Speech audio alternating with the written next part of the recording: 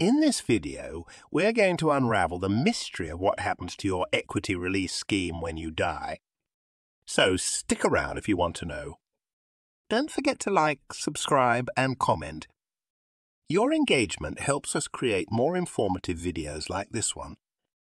Equity release is a way for homeowners, often seniors, to unlock the value of their property without having to sell up.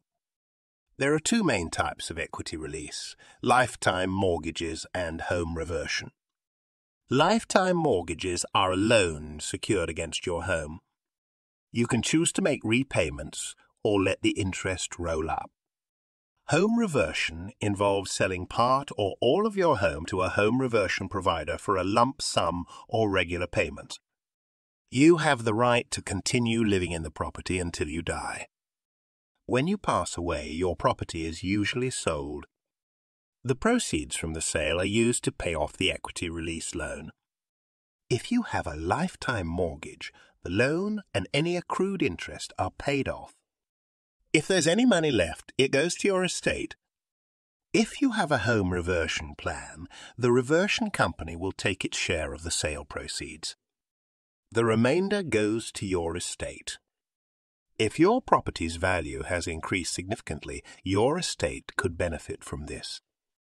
However, if your property's value has decreased, your estate won't have to cover the shortfall. The equity release provider will give your executors a set time, usually 12 months, to sell the property. If it's not sold within this time, they might step in to sell it. The amount left over after the loan is repaid is distributed according to your will. If you don't have a will, it's distributed according to the rules of intestacy. If you have a joint equity release plan, things can be slightly different. The surviving partner can continue to live in the property until they die or move into long term care. If there's negative equity where the debt is more than the property value, most equity release plans come with a no negative equities guarantee. This means your estate won't have to pay back more than your property's sale price. It's important to discuss your equity release plan with your family. They should understand what it means to their inheritance. Many people use equity release to help their loved ones financially while they're still alive.